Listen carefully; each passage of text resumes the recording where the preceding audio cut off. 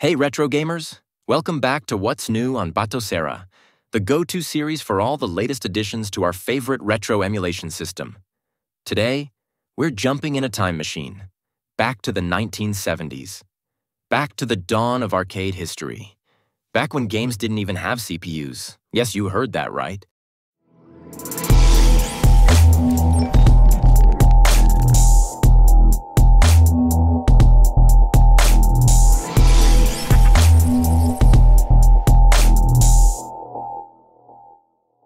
Batocera now includes a brand new emulator, DICE, which stands for Discrete Integrated Circuit Emulator.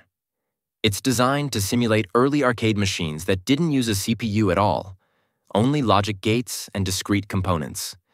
Think of games like Pong, Breakout, or Gotcha, built entirely with TTL logic, transistor-transistor logic. No microprocessor, just pure hardware wizardry.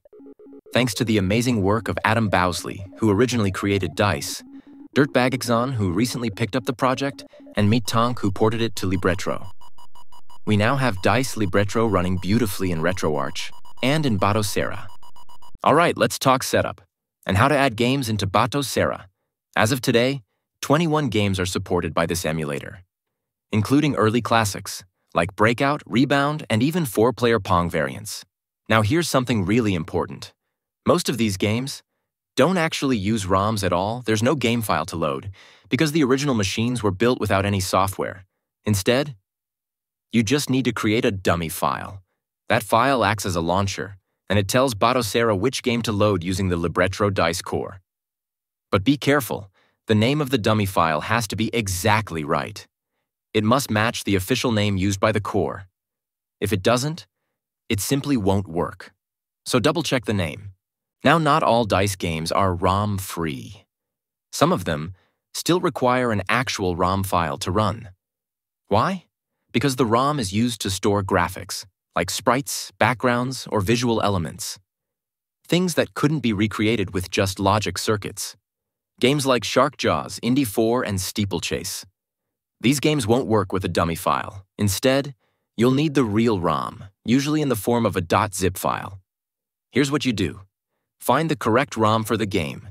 Make sure it's named properly. Drop it directly into your slash ROM slash dice slash folder. Then refresh your game list. Batocera will automatically recognize the game and launch it with the LR Dice core. Simple as that. Before we wrap up, I highly recommend checking out the GitHub repository and the official documentation for the DICE core. You'll find detailed information there, including the exact file names required, and a list of which games need real ROMs to function properly. Now, I know these games might not be for everyone. They're from the prehistoric era of arcade gaming, literally the very beginning. But honestly, I think it's an amazing experience to go back and learn more about the foundations of the arcade scene as we know it today. Most of these games are made for two players. Some even support four players. And I had a blast testing them out.